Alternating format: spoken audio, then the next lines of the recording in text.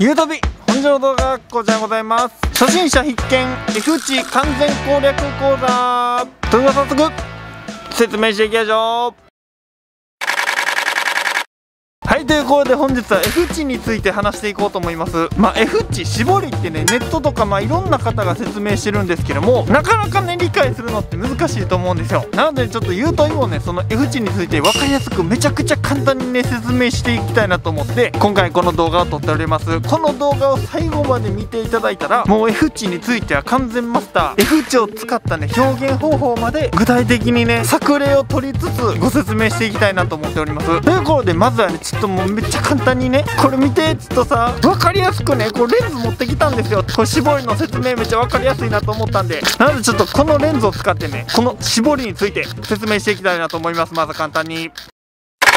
はいということでまずはねもう F 値とは何ぞや絞りとは何ぞやということをねめっちゃ簡単に言います。F 値っていうのはこのレンズの中にあるこの絞りっていうこれこれですこれこれを数値で表したものなんですよ。F 値って。F 値を小さい数字にすればこの中の絞りっていうものが大きくこうやって開きます。逆に F 値14とか22とかめっちゃ大きい数字にしたらこの中の絞りが小さくこうやって閉じます。絞りを大きく開くか小さくするか。数字を低くすれば低くするほどこの絞りは大きく開きます。逆に数字を大きくすれば大きくするほど絞りをねこう閉じていってあげれるんですよ。でその F 値っていう数字を調整することによってこの絞りのこの空き具合を調整することによって写真のね表現っていうのがねめちゃめちゃ変わってくるということなんですね。ということでここからね実際に写真を撮って作例をお見せしながらね絞りの解説表現方法をね伝授していきたいなと思います。ということで次。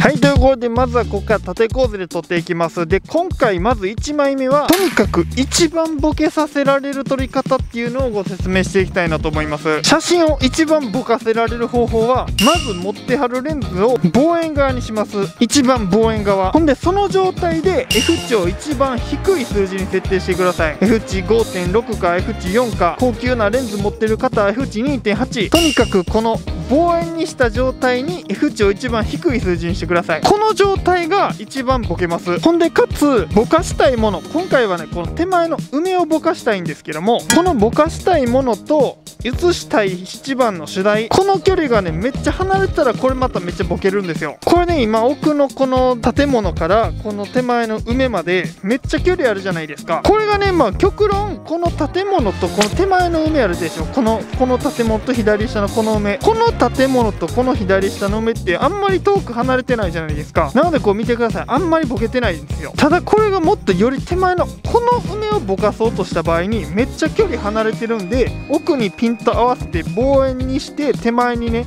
入れるとめっちゃねこういう感じで大きくボケるんですよ。綺麗にポンポンポンポン。可愛い感じになりますと。なのでおさらいすると持ってはるレンズの一番望遠側にしますで F 値を一番低い数字にします。で撮りたい被写体主題とぼかしたいものの距離をねめっちゃ離すことでこんなこうも大きくねボンボンボンボンでボケると手前にピントがあってもうた。これちょっと EOSR5 反抗期やな。なあちょっとちゃんと撫でたるから言うこと聞いてな今後も帰って美味しいご飯食べような。なんか怪しまれているさすがに。あそうほんであとはねここのねここにまあなんか券売券をね売りさばいているねところがありますんでこういうやっぱ人工的なものは入れたくないと。ということでそういうね前ボケとかボケっていうのはそもそも綺麗なんですけどもそのボケでね入れたくないものをね隠すというねテクニックもあるんですよこういう感じで。ボケをただただ入れるんじゃなくて映したくないものをこの前ボケ大きく前ボケさせられるからこそそのボケでね隠すこともできます。なのでその辺のね絶妙なテクニックも使ってみてはいかがでしょうか。ということでね望遠にして前ボケめっちゃ大きく入れていらないものは入らないようにしてカメラに話しかけないようにしながらここを縦構成撮っていこうと思います。で設定していきます。とりあえず安定の A モードにします。ほんでまあ露出補正はちょっとまあ明るめに映したいんでプラス0.7にします。ほんでこれね持ってはるレンズのこう F 値をとにかく一番低い数字にします。僕今今回つけてるレンズは 2470mm の F2.8 っていうレンズなんで F2.8 が一番低い数字なんで F 値は2.8にします。これねさっきのレンズでいうところの F 値を低低くするということはねこう絞りがこう大きく開くんですよ。でこうねめっちゃ開いてるじゃないですか。なのでね光いっぱい入ってくるんですよ。人間でもさ目開けてたら光めっちゃ入ってきて眩しいじゃないですか。眩しくて光あんま入ってほしくない時こうやって目ね細めるじゃないですか。まあそれと同じ原理なんでねこうやって F 値を低くして絞りをこう大きく開いてる時っていうのは光をねいっぱい取り込める状態なんですね。ということでこう F 値を低くして絞りを大きくするということはめっちゃ光を取り込めますんでわざわざねこうこれ IS を上げたりもしなくていいんですよ。そんなメリットもあるんですね F 値。なので ISO100 一番低い数字にもできてシャッタースピードがめっちゃ速くて手ブレもしませんという感じですね。ということでこの設定でどうでしょう。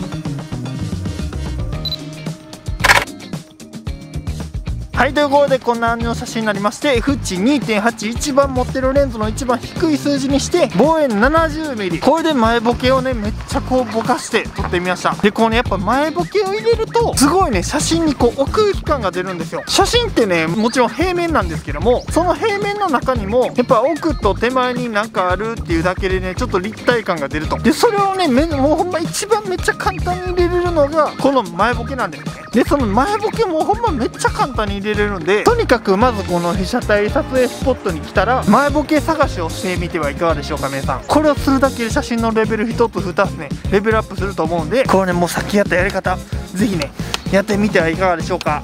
ということで次。やばいやばいやばいやばい。やばい。うおめっちゃ綺麗めっちゃ綺麗めっちゃ綺麗。やばい。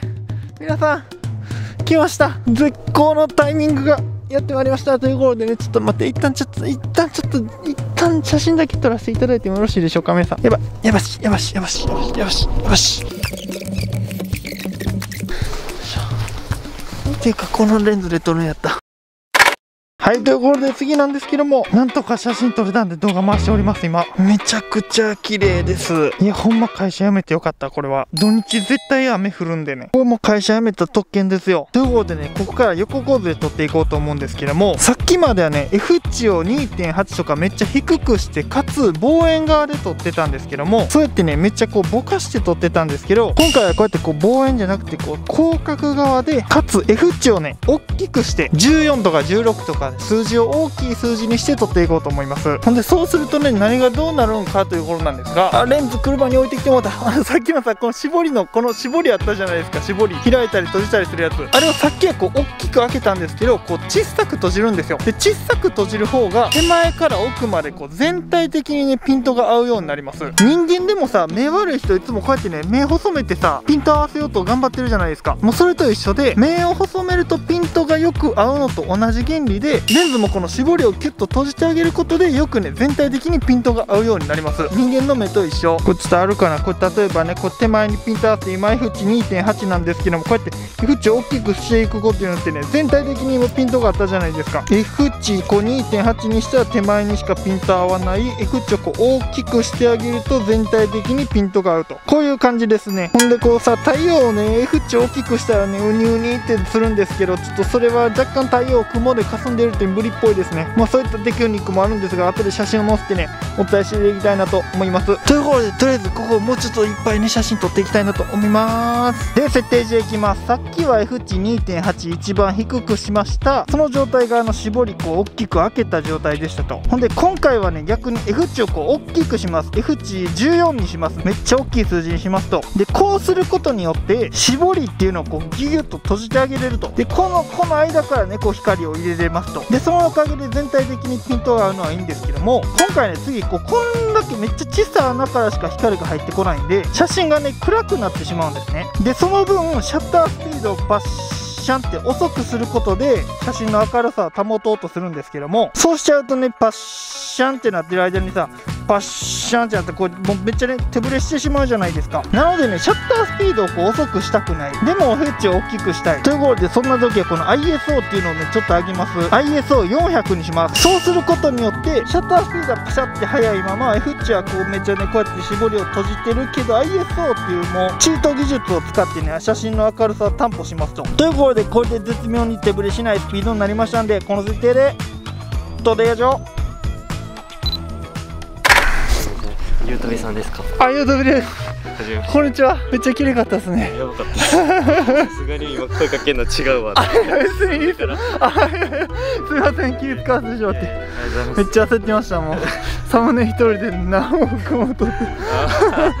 それがもう変に時間かかりました。今日の動画になるんでぜひ。早く出してください。頑張ります。写真撮ってもらって。あいいっすよいいっすよいいっすよ。お願いしますありがとうございます。ありがとうございます。あります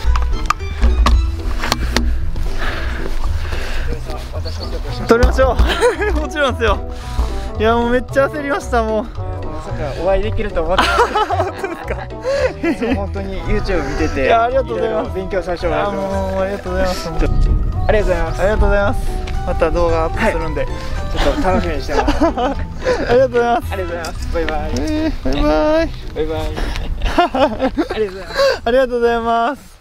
ありがとうございますはいということでこんなの写真になりましてシンプルに横構図で撮りました。で今回のこの写真みたいな時っていうのは奥の太陽も綺麗手前の菜の花も綺麗もうこの画面に映る全部が綺麗なんですよ。なのでやっぱり全体的にねピントを合わせたいと。でそういう時はもう人間の目と同じようにこうねこう薄めてあげるちょっと閉じてあげるんですね。そうすることで全体的にピントが合うと。そういったね、えー仕組みになっております。ほんでこの写真やったらちょっとね太陽が霞んじゃっててあれなんですけどもこの F 値を大きくしてあげると太陽とかまあ夜景やったら電灯とかそういうものっていうのがねこうウニウニってなるんですよ。こう工房とか工場っていうんですけどもこういうのを一つアクセントにして写真に組み込むっていうね技術もあります。でただ逆にねこうやっぱ全体的にピントが合いすぎてしまうんでその分ね写真撮るのめっちゃ難しいんですよ。全体的にピントが合ってしまうっていうことはなんかこう写真の中に電柱とかなんか電線とか落ち葉とか枯れ木とかなんかそういういらないものが写真の中にこの写真の四角の中に入っちゃったとしてもそいつらにもピントが合ってしまうんでもうほんま気ぃつけてね絶妙にもう引き算の法則でいらないものを排除して排除して綺麗なものだけを入れてそれに全体的にピントを合わせるっていう風なやり方をしないとちょっとねこういらんものが入って失敗してしまうこともあるんだ。皆さんその辺はお気をつけください。ということでもう日が沈んでめっちゃ寒なってきたんで終わります。はいということで本日は F 値についてね改めてお話ししてみたんですけどももうほんまシンプル。このレンズの中にある絞りっていうのを開けるか閉じるか開けたらよくボケて閉じたら全体的にピントが合う。F 値を小さい数字にしたら大きく開いて F 値を大きい数字にしたらギュギュッと小さくしぼんでいくと。そういったね仕組みになっております。でその F 値の数字を変えてあげることで映り方っていうのが全然変わってくるんでその場所その被写体に応じて自分なりに F 値を変えて表現をするっていうのがねこの一眼レフミラーレスの醍醐味ではないのかなと思います。とにかくこうこういう場所に来て何か物を撮るって時はまずとにかく F 値をまず決めるんですよ。F 値。F 値を決めることでどういう表現を出したいかっていうのをまず決めてからその後に ISO とかシャッタースピードを決めていくと。とにかく F 値を先に決めることで自分なりの表現をね写真に入れることができますんでまずはやっぱこの F 値をねマスターして皆さんなりのねクリエイティブな写真をねぜひ撮っていっていただきたいなと思います。あとまあなんかレンズキットレンズとかまあお安めのレンズやったら F 値あんまり低くできないっていうこともあるんですけどもまあでもねやっぱ望遠にしてうまくこう大きく手前に入れたりとかちょっとした工夫でねキットレンズとかでも綺麗にぼかしたりいろんな表現ほんまに簡単にできるんでぜひまずはお持ちのレンズでね試してみてそれでも納得のいかない方はヨドバシカメラに行くか 今すぐあのポチッと Amazon でポチッと行ってください。最近なんか毎日これ言ってんな。これの最後の挨拶になりつつあるから皆さんお気をつけください。ということでもう喋ることないので帰ろうと思います。ぜひ皆さんあの本当に10万人とにかく10万人目指しておりますのでチャンネル登録よろしくお願いします。さよなら。バイバイミルクさん。バイバイ。